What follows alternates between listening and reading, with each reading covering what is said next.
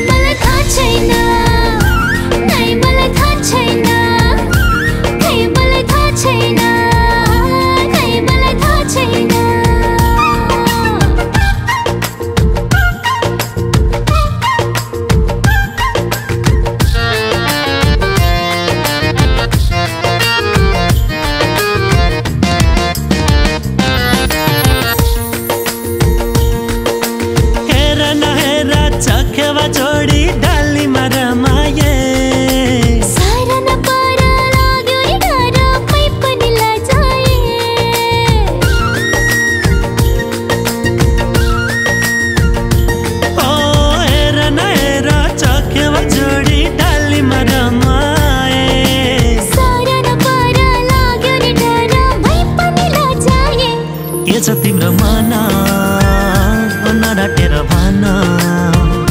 के छ तिम्रो मन? नडाटेर भन।